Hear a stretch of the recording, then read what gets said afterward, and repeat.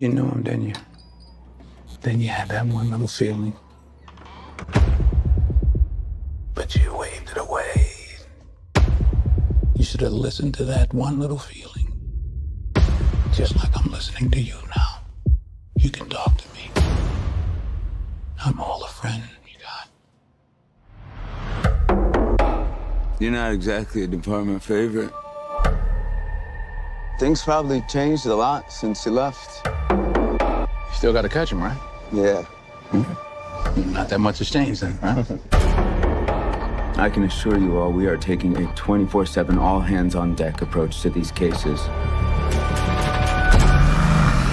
Guy's a shark. If he stops, he dies. He likes to drive. Probably has a decent car, maybe two, high mileage.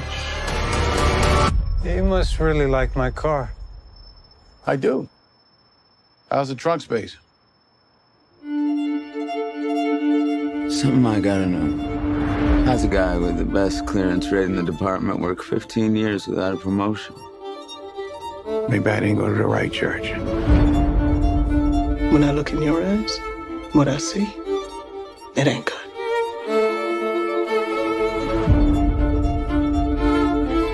He knew all the details, but he wasn't within 10 miles of the killing.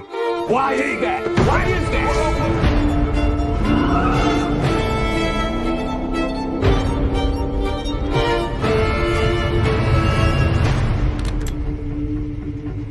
How's the trunk space?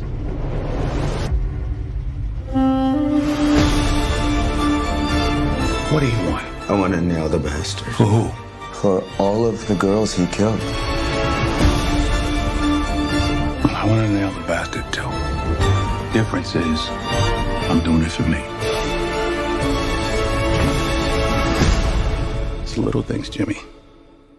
It's the little things that rip you apart. It's the little things that get you caught.